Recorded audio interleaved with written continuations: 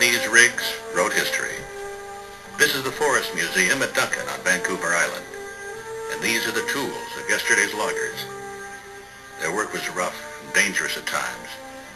But it laid the foundation for BC's basic industry and for the province's economy for years to come. Next on the scene were the foresters, who measured the forests and looked for ways to manage them. Forestry's come a long way since its modest beginnings.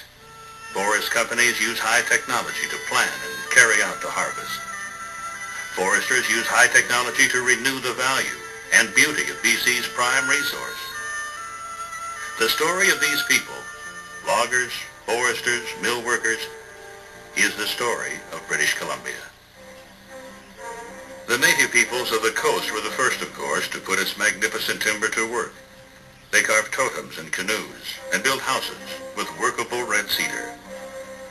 Captain James Cook became the first European logger of West Coast trees in 1778 when he sailed from Nootka Sound with coastal trees as spars.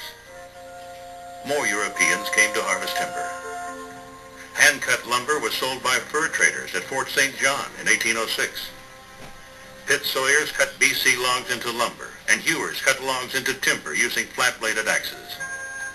In 1843, the Hudson's Bay Company built the first mechanized mill, driven by a water wheel, near Esquimalt Harbor in Vancouver Island. From this and other mills, schooners took lumber to Valparaiso, Shanghai, and Australia. In the woods, loggers felled the big trees with axes and crosscut saws. They moved them with ropes, blocks, and teams. They skidded them on grease logs or sent them roaring down flumes to the water. One of the big problems has always been the size of the logs.